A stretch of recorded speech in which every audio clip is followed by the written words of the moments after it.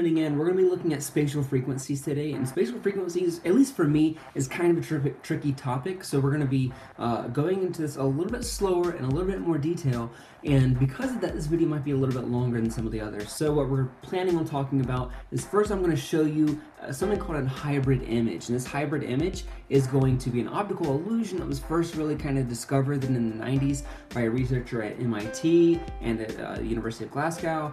And uh, then we're going to be looking at what it means to have 20/20 vision. So whenever you talk about eyesight and you talk about, you know, uh, 20 vi- 20/20 vision or 2010 vision or 10/20 vision, we'll talk about what that means, how that relates to visual acuity, and then finally how all of that stuff is going to lead into this optical illusion that I'm about to show you. Okay, so right here, what I'm going to do is I'm going to show you a picture. All right, so this picture should be kind of blurry. Now, what I want you to do is to look at it, think about what it is that you see, and then kind of squint your eyes and maybe even lean back uh, from your computer screen and then think about what it is that you see. Maybe it changed, maybe not. But one thing that I can do is I can make this smaller or at least simulate it being pulled back and it should change what you actually see. Whenever I'm getting closer to you, it should change as well. And so, whenever it's close up to you, you see Albert Einstein. Whenever it's farther away from you, you see Marilyn Monroe. Now, I'm not engaging in any kind of like video manipulation or trickery or anything like that. I'm not trying to trick you. This is something that our eyes do. So the purpose of this video, now that you see how this works, we're gonna be breaking down the basic processes to understand exactly what's going on with our perception when we see this kind of illusion. Okay, so the first thing that we're going to be looking at is something called visual acuity. And visual acuity is generally measured through something called the Snellen's E test. And this is the test that you see all the time on TV and in movies whenever people go to the eye doctor. You've probably seen this whenever you've gone to a doctor yourself, right? It's on the back of, the, of a door. You got this big E, then you got these other kinds of, uh, you know, letters beneath that that are all in, uh, increasingly small as they go down. So this was the test that was used way back when to kind of diagnose uh, problems with our vision. So, whenever you hear someone say 20/20 vision, what they mean is that they have perfect vision. But what that actually means in regards to the Snellen's E test is that basically to see one of these characters, you can pick any kind of row here, uh, that in order for uh, you to read one of these letters, you need to be 20 feet away. And in order for the majority of the population, they need to be 20 feet away. So that means you have completely average vision. It's good, you don't need to be corrected or anything like that. Um, but what does it mean to have 20 or 10 20 vision? 10 20 vision, that's a little bit different. That means that you need to be 10 feet away in order to read parts of this chart, whereas most people need to be 20 feet away. So basically, it's kind of like thinking that your vision is half as good as everyone else's, or maybe everyone else's vision is twice as good as yours. Whatever it makes you feel a little bit better about that. Um, so sometimes you have people who uh, who go through LASIK eye surgery and have that uh, you know uh, uh parts of their lens corrected, and they can actually have 25/20 vision which means that their vision is actually a little bit better than average now. Uh, another way to think about that is that in order for you, let's say that you had LASIK eye surgery, in order for you to be able to read parts of that chart, you need to be 25 feet away. Whereas everyone else in the world who has healthy vision or average vision, vision needs to be 20 feet away. So that, you know, you actually have an advantage there. So that's a question of visual acuity. And what visual acuity is, is basically spatial resolution. Whenever I like to think of it, I like to think of pixels on a screen, where something, whenever something is higher def, it just means that there's more pixels there, right? There's a higher resolution. That's kind of how you can think about visual acuity. So in the center of our visual field, we have very high resolution, right? Whenever we're looking for things with details, we, you know, look at, you know, at whatever it is with the center of our vision. And that's because the photoreceptors that are primarily in the center of our vision, those cones, are physically smaller than the rods, which are on the outside. So, in the center of our visual field, we have the highest resolution. We have more pixels, so to speak. On the outside or on the periphery of our vision, we have lower uh, spatial resolution. We have lower visual acuity because those rods are actually bigger. You can kind of think about your computer screen. If your computer screen had different shapes or different sizes of pixels, where at the very center of it, you had very small pixels, and on the outside of it, you had very large pixels. That would change the way you would look at things on your screen, right? You would move everything to the center of your of your monitor so you could actually be able to read, uh, you know, whatever it is that you're looking for. That's kind of how the human eye works. So we have better resolution in the center of our vision, worse resolution towards uh, the periphery. So what does this have to do with spatial frequencies? Uh, let's let's talk about how spatial frequencies are measured. Looking at the Snellen's E test, we're basically looking for these big broad strokes or these big lines, these black and white lines. That's something that you're going to see a lot in this kind of research as well. These sine wave gratings that are going to move from black to white to black to white to black to white. We like to study vision and visual acuity using these basic black lines. This is going to lead us into a completely different conversation about edge detection. There's another video for that you should check out, uh, which is going to help us moving forward by understanding how those cells are sensitive to those different kinds of lines and things like that. So let me show you a little bit of how this works. What you're seeing right here is an on-off or a center surround cell. We talked about this in, in the lateral inhibition video, uh, but basically this is a ganglion cell that whenever there's light that's, that is uh, falling across the very center of this is going to be excited. In other words, it's going to create more action potentials. So let's talk about seeing details.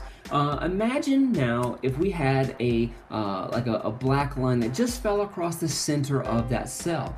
What would happen is we would have an excitatory response. This excitatory response would be basically an, an increase in these action potentials. Is let this cell is letting our brain know, hey, there is a line or there's a, a piece of light that has fallen directly across, you know, this part of the cell. For this particular cell, this goes on throughout many different cells in our retina. But let's look at a different example. Let's look at kind of the opposite of that. What if you had lines that fell across the, uh, you know, the top and the bottom of this that are ignoring the middle of this. What you would have is basically an inhibitory response because those two lines are falling on the surrounding area of that cell. So they're creating less action potentials now. Basically, you're inhibiting that response. That is meaningful for the brain. We're now understanding a little bit about the detail it is that, that we're seeing.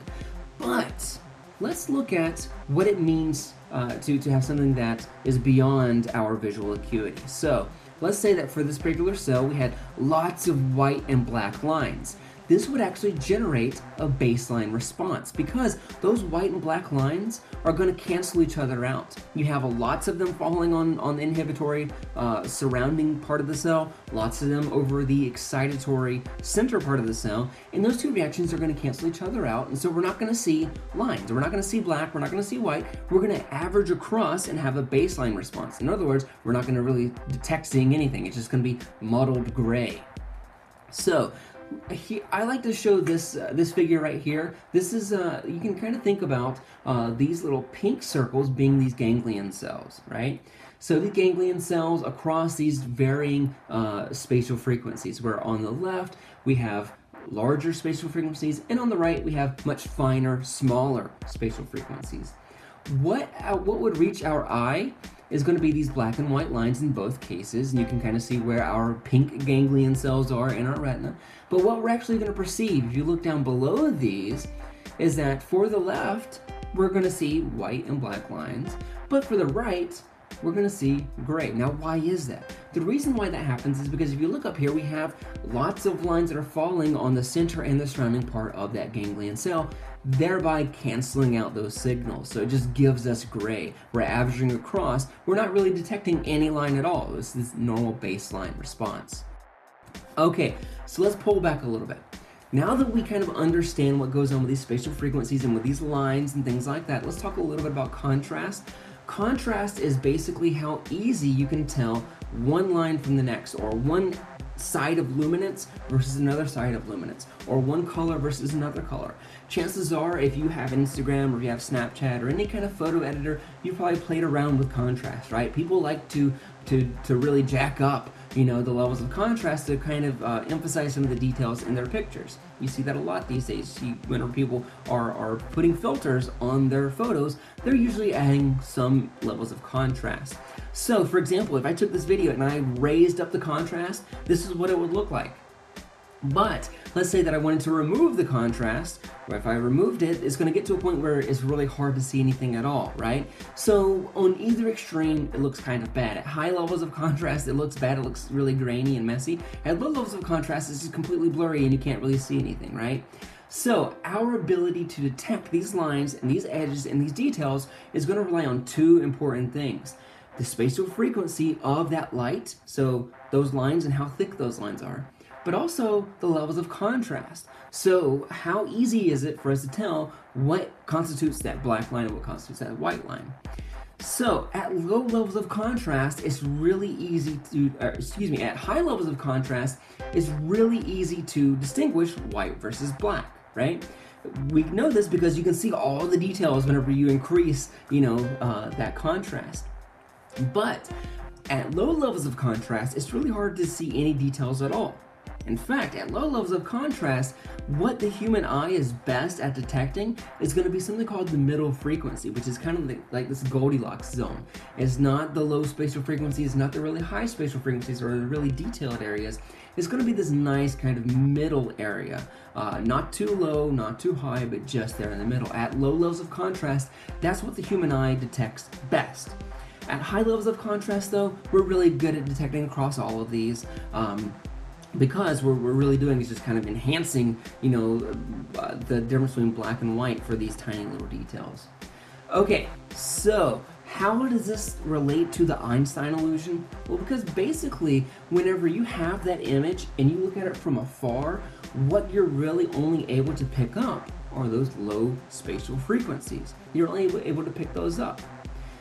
As it comes closer to you, those low spatial frequencies are now harder to see because the, the details are now, the, those high spatial frequencies are more predominant, and so they take over. And so there's this nice little switch point where we see things that are really kind of blurry and it looks like Marilyn Monroe, but as it comes closer to you, that face switches over as the human eye is starting to pick up better on those high spatial frequencies.